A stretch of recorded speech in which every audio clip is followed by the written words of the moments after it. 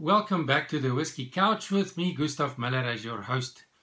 Today's whiskey is the fourth in this mini series, the fourth and the last one in this mini series that I'm doing on the Glenlivet Nadurra range.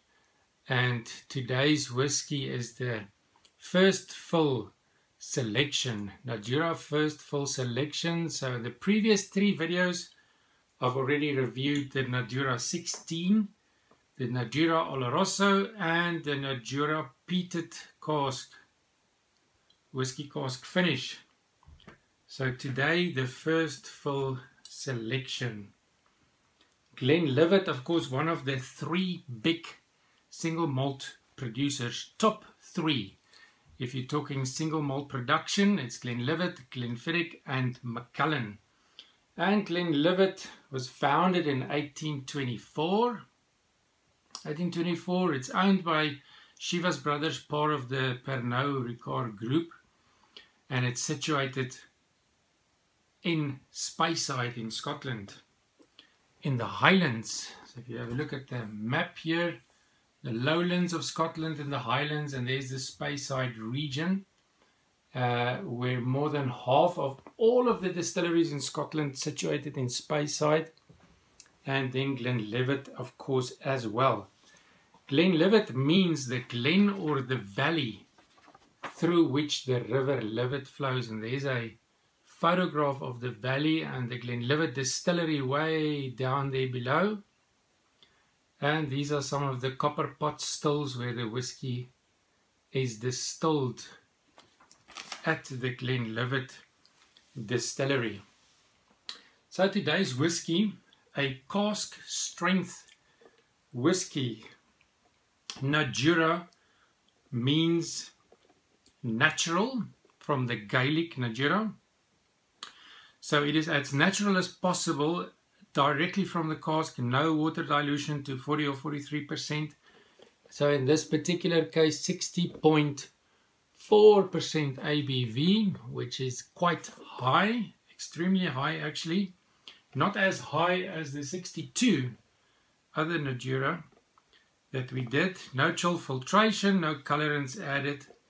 And at the back there's a couple of notes which I'm going to read for us. This particular whiskey matured in first fill American white oak casks. So the box says color is light gold.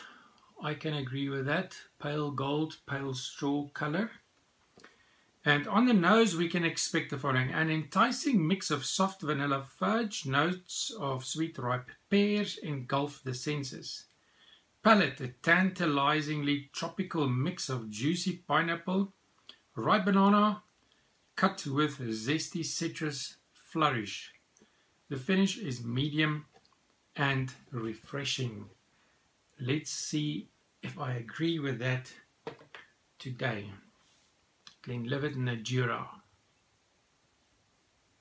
Yo, the fruits is is right there immediately. Pineapple.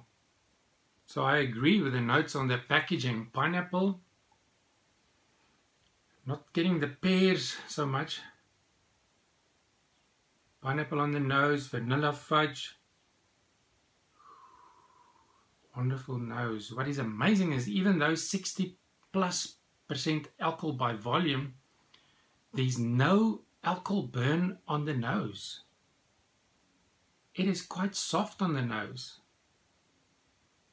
Apples and creme brulee. Then there's a slight candy note, almost like candied fruits. Custard. The pears, ripe pears, are making their appearance as you spend time with us. Hmm.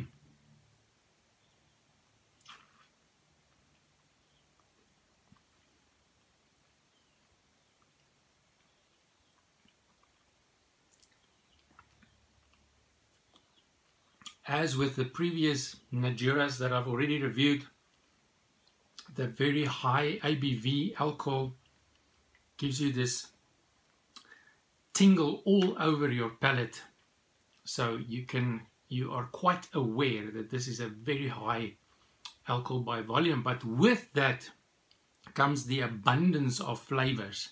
You see, the more they reduce the alcohol with water to make a normal standard bottling of 40 or 43%, the more you lose flavor. So there's a there's just a bundle of flavors here. The vanilla, the vanilla fudge, sweet ripe pears on the palate, apples, mm, mm. toasted coconut and custard. It's like a vanilla custard that I'm getting, caramel with nuts.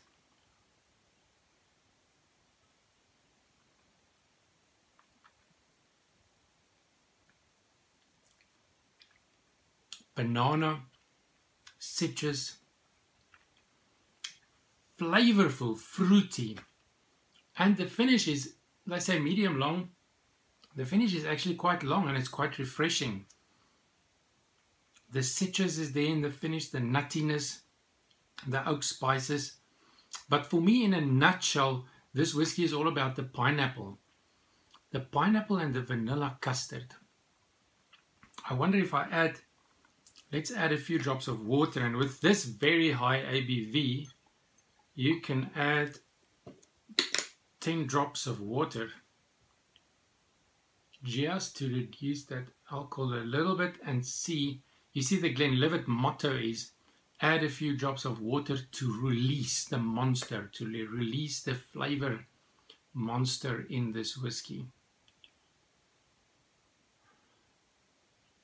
Much more pear with the water, much more candied fruit with the water.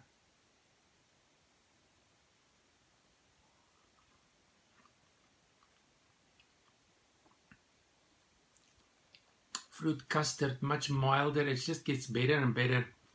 I did promise that when I do the fourth one, I will reveal which one is my favorite. And I must say, even though I'm a sherry cask Whiskey fan, this is my favorite one out of the bunch of four in the Nadurra range. An excellent, excellent whiskey. The price is around 60 pounds uh, or 45 pounds in the UK, $60 in the US, and a thousand rand here in South Africa. If you want to pair this whiskey with a food snack, uh, you can try to connect with your snack connect with the coconut because there's also a bit of coconut I did not mention that there's so much going on here you can try to connect with that with a Lindor coconut chocolate or you can connect with a custard with a creme brulee or a custard based dessert uh, or even a smoked salmon roll on cream cheese and a cracker but with a few drops of lemon to connect to the citrus note in this whiskey. Uh, you can also consider a, a salad with a citrus lemon dressing. What I've got for today is a pineapple and marshmallow fridge tart.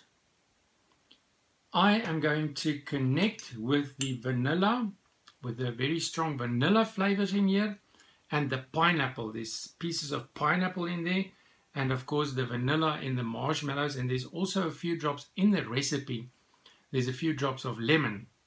So a whole lot in there that can actually connect with this whiskey. So I'm quite excited about this. One of my wife's specialities, pineapple and marshmallow fridge tart.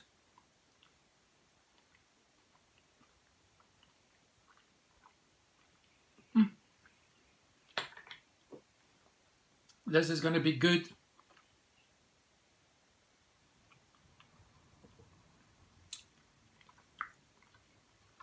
My wife's speciality, my favorite, 5 out of 5 pairing. When I'm finished with this video, I'm going to finish this whole lot. Excellent. Thank you for watching. Remember to share this video with your friends and I will see you again tomorrow with more whiskey reviews, whiskey tastings and whiskey and food pairings. Sláinte.